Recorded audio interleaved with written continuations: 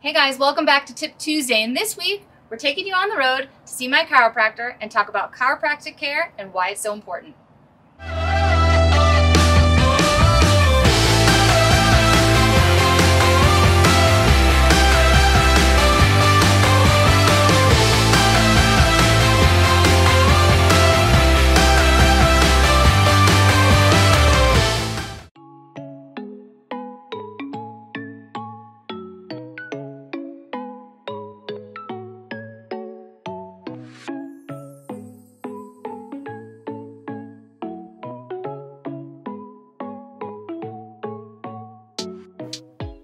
Okay, Dr. Underwood, so I'm gonna ask you some questions. So what is the most important thing about finding a chiropractor?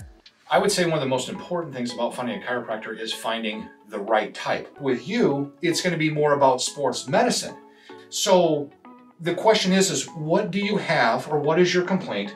What are you looking for? And then you want to base your research of finding that particular chiropractor on what your need is. Just don't assume that we all do the same thing because we are specialized. What are some of the main things that you see out of bowlers and what could be causing the pain that they may be experiencing? One of the biggest things that I see with the bowling profession is it's the unilateral load distribution of having typically a 15 pound bowling ball on one side of the body. So that leads to a lot of increased muscle tightness in one area, pelvic rotation that then creates pressure on the knees down to the feet and ankles, which is a lot of what you see bowlers complain of. Not only is it the throwing arm, but it then can be the opposite knee and across the lower back. Those are the most common things that we see. So what are some myths that people think about chiropractic care and what are some things that people should look for in chiropractic care? I'd say one of the biggest myths that I hear is once you start going, you have to keep going. What I always tell my patients is the body is a machine. You have to maintain it. Now, you as a professional athlete, care tends to be more frequent, especially in season, as it is with a lot of professional athletes or collegiate athletes, simply because it comes down to demand. How much are you using that body? How hard are you training?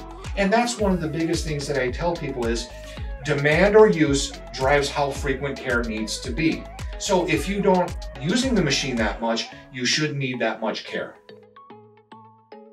Can you avoid some of the massive pain if you see a chiropractor regularly? And the answer to that is yes, yes you can.